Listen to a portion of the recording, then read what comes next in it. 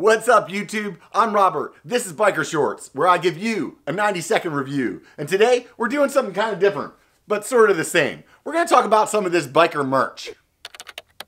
All I'm asking for is 90 seconds.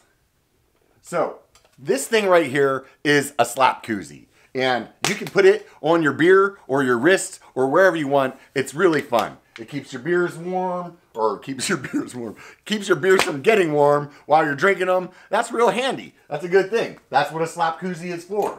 But the thing that I really use these for all the time is that I shuttle a lot. And when you put your bike on the back of the tailgate, your stanchion sometimes is rubbing against the truck. So I put that right there on the stanchion and it stops the stanchion from getting rubbed. I have my other, my Bronson is like wearing the black off before I noticed that and started using these.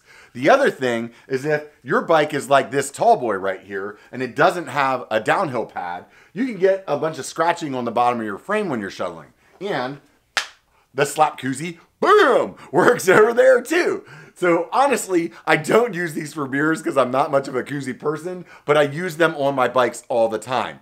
On my website, link and show more, $9 for one, three for 20. That's shipping included. Sorry, I'm not Amazon. It's not free. But if you um if you want to want to get something like that, that would be awesome. And if you're into beer drinking, check this thing out. It's a credit card size bottle opener. Just put that in your wallet. You can pick one of those up while you're there too.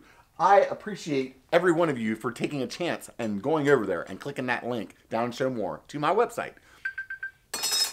That's 90 seconds. If you have any questions, honestly, make this thing stop. If you have any questions, please put them down in the comments. Give me a thumbs up. I know this is this is this is a senseless plug for selling my own stuff, but I really like those slap koozies, and I think that um, I think you will too. So if you don't want to buy one, I get it. Do me one thing though, one solid. It only takes a bike to be a biker. Get out and be one.